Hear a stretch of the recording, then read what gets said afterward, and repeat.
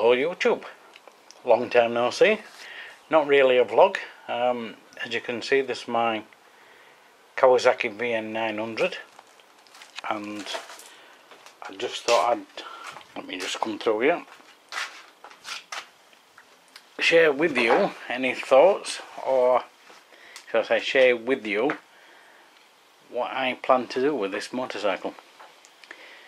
So as I said it's a VN900 my missus don't ride on the bike with me so I'm going to make it into a single seater. But not just a single seater and do away with that bit. I'm going to bob it. So what's your thoughts on it? It'll be yeah so it's just simple bob. My battery just went I had to uh, plug it in. Um, so it's do away with the seat um, do away with the rear fender oh, it's ginormous isn't it? And under that bit is the frame that holds the fender or here in England the mudguard on. Um, and again that front mudguard again to cut down. I don't know whether to do away with the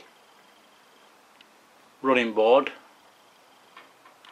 um, but it'll mean getting some or fabricating some kind of bracket to move the footrest back. I've took the rear footrests off. They could actually go on there uh, and then do the linkage for the gear lever. And again on the other side for the brake bracket. Um, once they've got a single seater on it is more comfier with the feet just slightly back just over there. So that'd be the centre instead of there.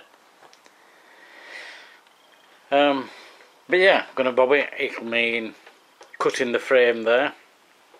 Then uh, a new mudguard on fabricate a new seat pan uh, to accommodate the single seater.